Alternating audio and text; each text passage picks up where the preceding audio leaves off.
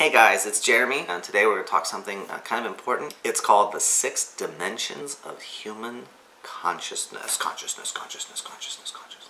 I, I, haven't found a better name for it yet, so if you have a better name, feel free to offer it. I may steal your kung fu, uh, but I reserve all rights and legal entitlement and blah blah blah. All right, so here's here's what the idea is: the uh, the six dimensions of human consciousness. The idea of this really comes from my martial arts background and engaging with different families over the last 20 years and seeing just how and where they find challenges and where they're getting growth and where they get synergies and amplify. So the idea is pretty simple, and we're going to just categorize our whole entire life in six major areas. Number one, down here at the bottom, your physical fitness, your physical intelligence, your physical health. That's kind of the key because you know, all the money in the world, you're going to die next week. Money doesn't really mean a whole lot anymore. So we begin with the idea of developing your body, developing your physicality. Now, that doesn't mean that everybody has to be able to bench twice their body weight or run a marathon. It's the idea of maximizing the health you have in a reasonable way and continuing to grow, right? And guys, um, specifically for you, after 30, you need to be stretching much more often than you do. And by 40, it's kind of, you need to stretch almost every day because your body starts to stiffen up, it starts to tighten. So you want to keep it loose and limber and supple for the things you need to do in your life. Number two, next one up, is going to be mental intelligence, your mental growth, your mental capability, and your mental health. And it's making sure that you're learning and expanding the things that you know. So are you reading uh, at least, you know, a couple of books a year?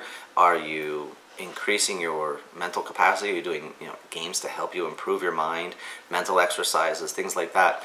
The more you learn and use your brain, the better it gets at being used for learning. So it's a skill that we want to spend time on. Next one up the chain, emotional health. So how are you connected to your feelings? Are you walling things off? Are you resisting things inside yourself? Because whatever you force away or try to make wrong is going to continue to continue to press on you and give you grief. You learn to accept the things that are a part of you and accept the stories and accept the things that happened you can learn to transform that energy and free it up into other areas of your life. So also the idea of your emotions is how connected are you to the people in your life? You wish that you had a better relationship with so and so or such and such. Great. Send them an email, send them a letter, call them, go visit them. Right, well, they might not be open to it. Yeah, but they might, and throw the shot out there and see what happens. Take the shot is the idea. Number next, spiritual health. And this is not to get religious or woo woo, but it's the idea of what's the energy behind the things you do? What's the greater purpose of your life? And how connected are you to that greater purpose? Right? If all you are is work and grind and grind and work, and you don't really have a sense of what it's all for, what's the purpose, or how what you do triples, uh, trickles down into infinity and beyond, infinity and beyond, so it's the idea, though, of, of that greater sense of yourself and the, and the life you live and the impact you're making for future generations. How alive are you in that area? How connected are you? And it's really about beyond yourself and your immediate family. It's more for the world and for the rest of humanity. Now, we're going to jump from here over the other side to number five, your financial development, your financial cultivation. So just how you doing money wise. So we've got physical, mental, emotional, social, and then jump the chasm over here to financial because here's the deal. If you've got all the money you could ever want, but you're a jerk and you're out of shape and you're unhealthy and you just grind and grind and grind, what's the point of all that money? It's not going to do you any good. It's not going to remove your suffering. It's not going to help you to have a happy life.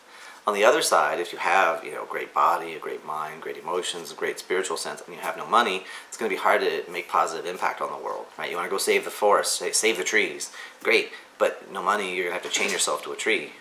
So you chain yourself to a tree, how many trees do you save? And so then you go save another tree, you got to unchain yourself, they come get the one you were just on. See the problem? But what if you became a billionaire and bought the forest? Oh, I could save a lot more trees that way. So it's the idea of, you know, the money helps to amplify everything that's going on, but it's not a cure-all be-all because you go back to those intangibles, your physical, mental, emotional, and spiritual development, that's going to link it all together. The bridge between physical, mental, emotional, so, uh, spiritual, and financial, the bridge of that is your relationships. Or I call it the relationshipal area of your life. Yeah, I made that up. So the relationship, you have three kinds. You have personal, professional, and intimate. And the idea there is recognizing, you know, what are the rules? How do you engage? How are you growing and expanding? And how are you creating win-win games for you and for other people in your life? Personally, your friends and that kind of stuff. Your professional situation, and then in your intimate. And for some people, intimate may be immediate family. It may be just one special person. But it's the idea that you have growth in these areas and you're feeding and nurturing and expanding these areas, being aware of these areas. Because now you've got these six pieces. Think of any area of your life that doesn't fit into one of these six categories, and you're not going to find any. Right? They all fit. Everything fits into these six. So now, how are you growing and expanding? And so, when Autumn and I are doing uh, consulting with people or doing advisement, you know, we are really analyzing and getting into what's going on in those six areas. Because the more clarity we have, the better we can make an impact, the better we can make an improvement.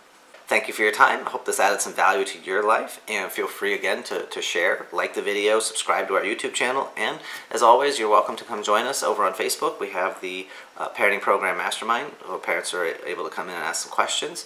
And if you have a challenge in an area of your life, you realize these six areas need some work, fantastic. Give us a call. We'll get in touch. We'll work with you, uh, do 30 minute consult for free, and see where we could add some value into your life and make some improvements. And then you can take that information out into your life and multiply that knowledge. Okay, you make it an outstanding day, and we will see you when we see you. And keep playing the games to win.